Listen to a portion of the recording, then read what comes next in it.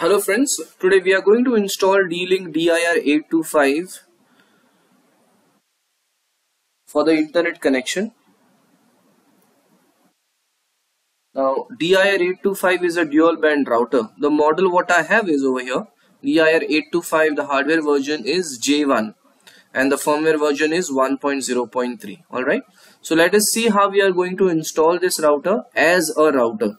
Now there are other modes as well like access point, repeater. We will see that later in the later part. First we are going to install this router as a main router. Okay. So first thing is you need to connect your laptop or a system wired or wirelessly to the D-Link router. Uh, currently I have connected using the uh, Wi-Fi. Alright, the name and the password is given at the bottom side of the router. So you can check that and you can scan for the network here. Click select the network and get connected Uh, the password is written at the bottom side of the router. So once it is connected, you need to open up a browser and enter the 192.168.0.1 which is the default IP for the router. Once you enter that, you will get the setup wizard. Now this setup wizard stays like, dear customer, this is the first time the device is turned on. Please configure the device in order to use the internet access services. So you need to click on start. Maybe your language is English, yes. So you can select yes you can use the advanced settings or continue the configuration with the wizard. So we are uh, we are not doing the configuration manually. We are configuring the router using the wizard. Okay? So you can click on next. Now here the connection method we need to select as wired connection. Select the work mode as router and then click on next. Now we need to select the connection type.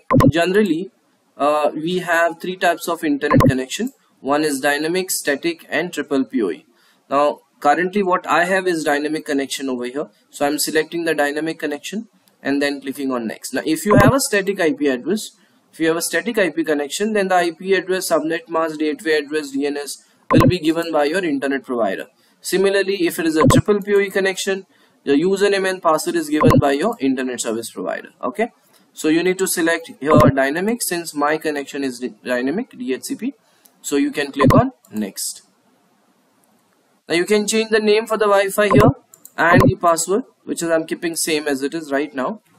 This is a 2.4 wireless setup so you can click on it delete it and you can give a name of new choice okay? Similarly you can set the password for it. Just have to enter the name and the password and then you can click on next. Similarly for the 5 gigahertz you can select the same uh, change the name here. You can change the password if you want and then click on next is the STB connected to the device? If you have any storage devices connected to it you can enable it and then click on next. Currently I do not have any so you can click on next. If you have any VoIP devices if you have any IP phones you can click on enable it. You can enable it and then click on next.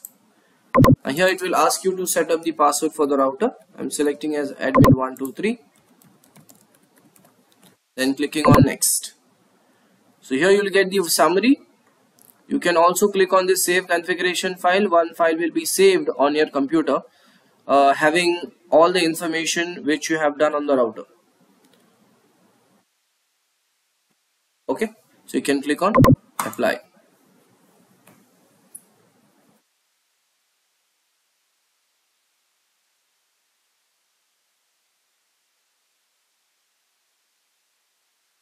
So once it is applied, you will see the changes in the lights.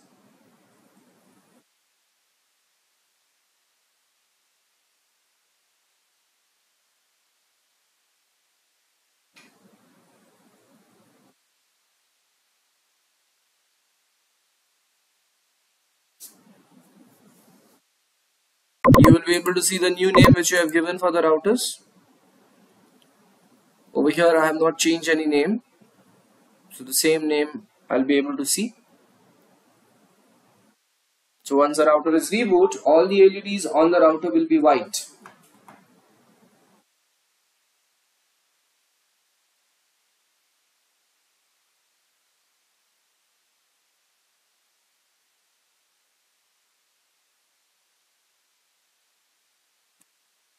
So you can click on it you can click on connect I've kept the same password. So you can enter the same password which is there at the bottom side of the router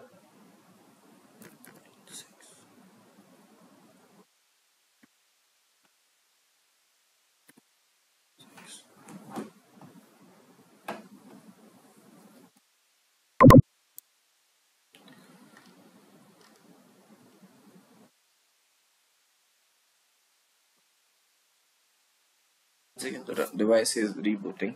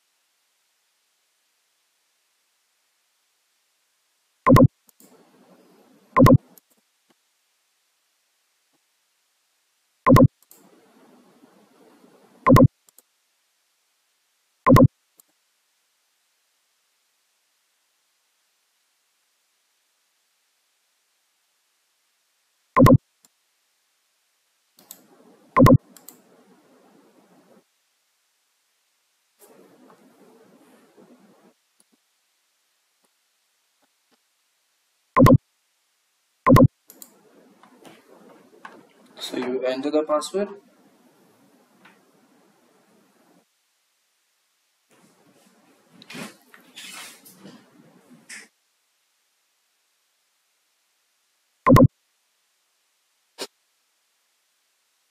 Okay, so it is connected and you check the status should be internet.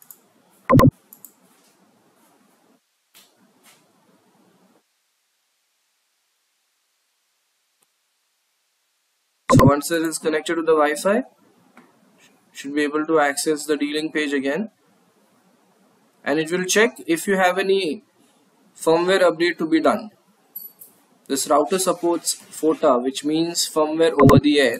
So if you have any firmware update in the future, it will automatically give you a pop-up over here. Just have to select it and then update it.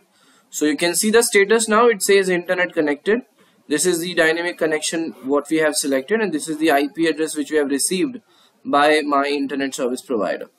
So that suggests the internet is up and running and the router is configured as a main router. Okay. That's it for now. Thank you.